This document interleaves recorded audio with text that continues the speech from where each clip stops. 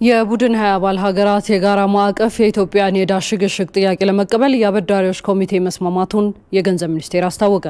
የገንዘብ ሚኒስትር ዴኤታ ዶክተር ኢዮብ ተካልኝ እንደገለጹት ባለፈው ሐሙስ በተካሄደው የመጀመሪያው የአበዳሪዎች ኮሚቴ ስብሰባ የኢትዮጵያን የዕዳ ሽግሽግ ጥያቄ ለመቀበል ተስማምተዋል።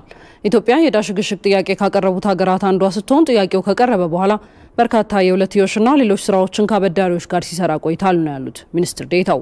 በቻይናና ፈረንሳይ የተመራው የመጀመሪያው የአበዳሪዎች ኮሚቴ ስብሰባ የኢትዮጵያን ጥያቄ የተቀበለበት የተሳካ ስብሰባ ነበርም ብለዋል።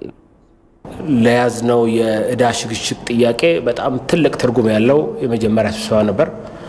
በዚህ ስብሰባ መሰረት አጠቃላይ የኢትዮጵያ የኢኮኖሚ ሁኔታ ምን ላይ ነው ያለው? የዕዳ ሽግሽጉ ለምን አስፈለገ? ይህ የዕዳ ሽግሽግ ቢደረግ አጠቃላይ ዘላቂ እድገት ለማረጋገጥ ምን ፋይዳ አለው የሚለውን በሰፊው ያብራራንበት ስብሰባ ነው የነበረው። በክቡር ሚኒስትር አህመድ ሺዴ የተመራ ኢትዮጵያ ልዑካን ቡድን እዚህ ስብሰባ ላይ ተሳትፏል።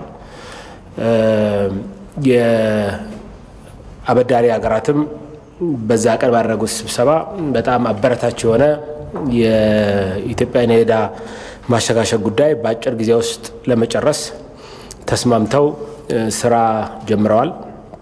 ቀጣዩ ስራ የሚሆነው የዓለም አቀፉ የፋይናንስ ተቋም IMF አጠቃላይ DSA የምንለውን የኢትዮጵያን የዕዳ ትንተና debt sustainability analysis ያቀርባል።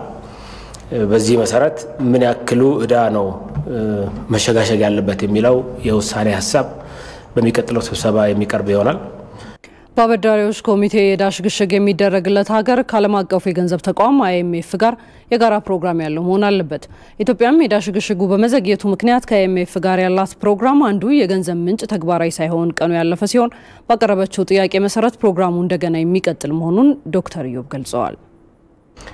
ይሄ የዕዳ ሽግሽግ ስለዘገየ የኢኤስኤፍ የምንለው Extended Credit Facility የምንለው September 19 ከትላንት ወዲያ expire ያደርግ ነበር።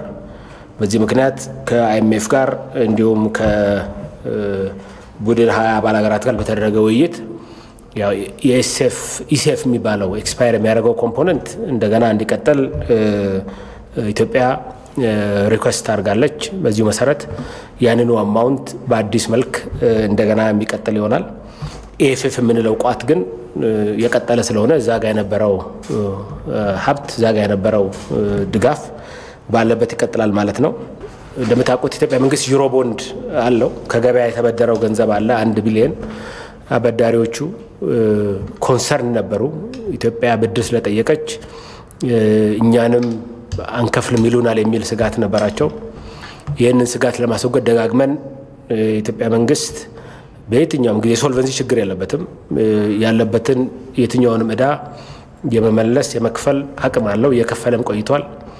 የዩሮ ቦንድ የምንለው ከገበያ የተበደርነው የአንድ ቢሊዮን ዶላር coupon payment እና ወለድ አለው። ይህንን ባለፈው August ም ከፍለናል። የሚቀጥሉም ለመክፈል ዝግጁ ነን። ግን ይሄ በምን መልኩ ነው በዕዳ ሽግሽግ ውስጥ የሚታየው የሚለው ያው ክሬዲተር ኮሚቴው አይቶ የሚወስንበት ይሆናል።